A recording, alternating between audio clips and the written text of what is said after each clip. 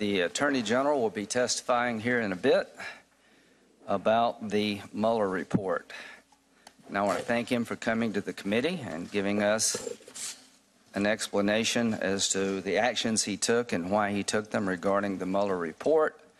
And here's the good news.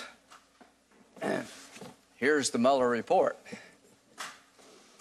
You can read it for yourself. It's uh, about 400 and something pages. Can't say I've read it all, but I've read uh, most of it. There's an unredacted version over in the classified section of the Senate, a room where you can go look at the unredacted version, and I did that, and I found it not to change anything in terms of an outcome. But a bit about the Mueller report. Who is Mueller? For those who may not know, I don't know where you've been, but you may not know Bob Mueller has a reputation in this town and throughout the country as being an outstanding lawyer and a man of the law. He was the FBI director. He was the deputy attorney general. He was in charge of the criminal division at the Department of Justice. He was a United States Marine. And he has served his country in a variety of circumstances long and well. For those who took time to read the report, I think it was well written, very thorough. And let me tell you what went into this report. There were 19 lawyers employed, approximately 40 FBI agents, intel analysts, forensic, forensic accountants, and other staff, 2,800 subpoenas issued, 500 witnesses interviewed, 500 search warrants executed, more than 230 orders for communication records so the records could be obtained, 13 requests to foreign governments for evidence, over $25 million spent over two years. We may not agree on much, but I hope we can agree that he had ample resources, took a lot of time, and talk to a lot of people. And you can read for yourself what he found. The Attorney General will tell us a bit about what his opinion of the report is. In terms of interacting with the White House, the White House turned over to Mr. Mueller 1.4 million documents and records, never asserted executive privilege one time, over 20 White House staffers, including eight from the White House counsel's office, were interviewed voluntarily. Don McGahn, chief counsel for the White House, was interviewed for over 30 hours. Everybody that they wanted to talk to from the Trump campaign on the ground, they were able to talk to president submitted himself to written interrogatories. So, to the American people, Mr. Mueller was the right guy to do this job. I always believed that Attorney General Sessions was conflicted out because he was part of the campaign. He was the right guy with ample resources, and the cooperation he needed to find out what happened was given, in my view. But there were two campaigns in 2016. And we'll talk about the second one in a minute. So, what have we learned from this report? After all this time and all this money, Mr. Mueller and his team concluded there was no collusion. I didn't know. Like many of you here, on the Republican side, we all agreed that Mr. Mueller should be allowed to do his job without interference. I joined with some colleagues on the other side to introduce legislation to protect the special counsel that he could only be removed for cause. He was never removed. He was allowed to do his job. So, no collusion, no coordination, no conspiracy between the Trump campaign and the Russian government regarding the 2016 election. As to obstruction of justice, Mr. Mueller left it to Mr. Barr to decide after two years and all this time He said, Mr. Barr, you decide. Mr. Barr did. There are a bunch of lawyers on this committee, and I will tell you the following. You have to have specific intent to obstruct justice. If there's no underlying crime, pretty hard to figure out what intent might be if there was never a crime to begin with. The president never did anything to stop Mueller from doing his job. So I guess the theory goes now we don't, okay, he didn't collude with the Russians and he didn't specifically do anything to stop Mueller, but attempted obstruction justice of a crime that never occurred, I guess is sort of the, the new standard around here. We'll see if that makes any sense. To me, it doesn't. Now, there's another campaign. It was the Clinton campaign. What have we learned from this report? The Russians interfered in our election. So, can some bipartisanship come out of this? I hope so. I intend to work my colleagues on the other side to introduce the Deter Act and to introduce legislation to defend the integrity of the voting system. Senator Durbin and I have legislation that would deny anyone admittance into the United States a visa through the immigration system if they were involved in interfering in an American election. working with Senator Whitehouse and Blumenthal to make sure that if you hack into a state election system, even though it's not tied to the internet, that's a crime.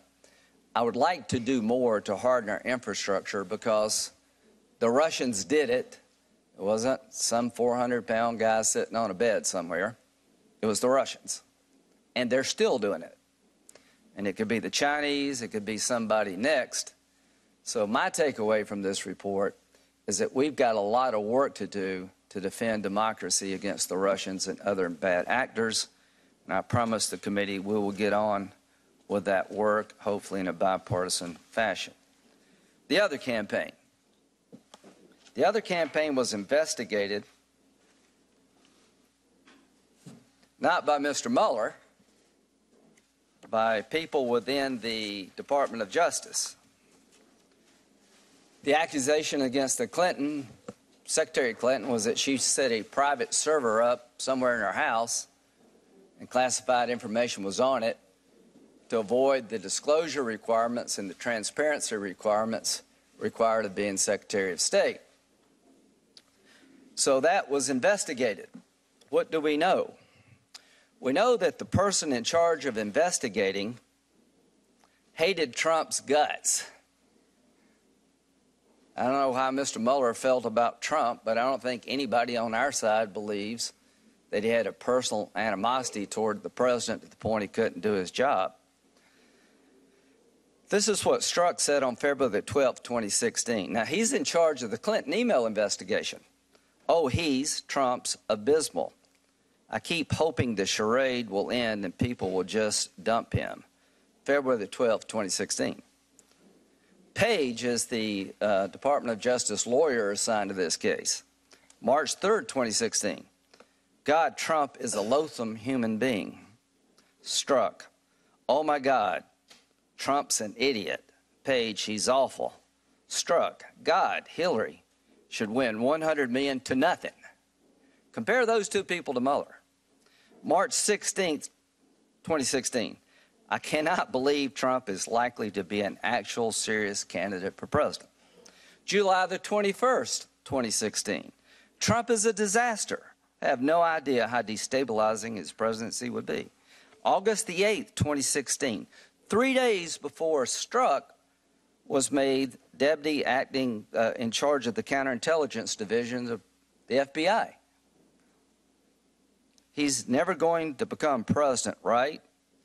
Page to Strzok. No, no, he won't. We'll stop him. These are the people investigating the Clinton email situation and start the counterintelligence investigation of the Trump campaign. Compare them to Mueller. August the 15th, 2016. Strzok. I want to believe the path you threw out for consideration in Andy's office, that there's no way he gets elected, but I'm afraid we can't take that risk. It's like an insurance policy in the unlikely event you die before you're 40. August 26, 2016. Just went to the Southern Virginia Walmart. I could smell the Trump support. October the 19th, 2016. Trump is a idiot. He's unable to provide a coherent answer. Sorry to the kids out there. These are the people that made a decision that Clinton didn't do anything wrong and that counterintelligence investigation of the Trump campaign was warranted. We're going to, in a bipartisan way, I hope, deal with Russia. But when the Mueller report is put to bed, and it soon will be, this committee is going to look long and hard at how this all started. We're going to look at the FISA warrant process. Did Russia provide Christopher Steele the information about Trump that turned out to be garbage that was used to get a warrant on an American system, citizen? And if so, how did the system fail? Was there a real effort between Papadopoulos and anybody in Russia to use the Clinton emails stolen by, stole by the Russians, or was that thought planted in his mind? I don't know, but we're going to look. And I can tell you this if you change the names, y'all would want to look too. Everything I just said, just substitute Clinton for Trump. See what all these people with cameras would be saying out here about this. As to cooperation in the Clinton investigation, I told you what the Trump people did. I'll tell you a little bit about what the Clinton people did. There was a protective order for the server issued by the House, and there was a uh, request by the State Department to preserve all the information on the server. Paul Combetta, after having the protective order, used a software program called BleachBit to wipe this email server clean. Has anybody ever heard of Paul Combetta? No. Under protective order from the House to preserve the information, under a request from the State Department to preserve the information on the server, he used a bleach bit program to wipe it clean.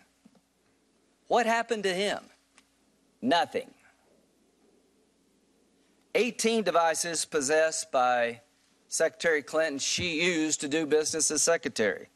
How many of them were turned over to the FBI? None. Two of them couldn't be turned over because Judith Casper took a hammer and destroyed two of them. What happened to her? Nothing. So the bottom line is we're about to hear from Mr. Barr the results of a two year investigation into the Trump campaign, all things Russia, the actions the president took before and after the campaign, $25 million, 40 FBI agents. I appreciate very much what Mr. Mueller did for the country. I have read most of the report. For me, it is over.